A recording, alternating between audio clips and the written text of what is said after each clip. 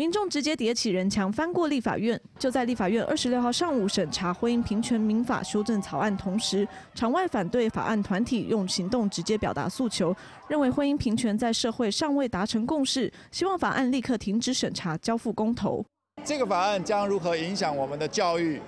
教材，影响我们的孩子婚姻家庭的观念？我们完全没有看到任何的评估，我们根本是在盲目修法。反同婚团体认为同性婚姻开放攸关后代子女教育问题，抗议修法过于仓促，要求立即停止审查，并拿出民调数据指出，由于有多数人支持公投，希望能交由全民决定。而另一头挺同婚阵营气氛相对和缓，彩虹旗依旧飘扬在会场，他们多数支持由美女委员的版本，认为修改幅度最小，也最符合同志朋友的需求。全民公投的话，对于基本人权来说是不适用的，就是因为这是在保障，就是像是男女啦，或者是宗教等等的基本人权，所以不应该是交由全民公投来决定这样子的事情。尤其是他刚好又是，嗯，在社会上偏是少数人的权益。其实他们所提的专法这两个东西，并没有实质上的去做提案或者之类的事情。目前现在只有四个法案，这四个法案都是。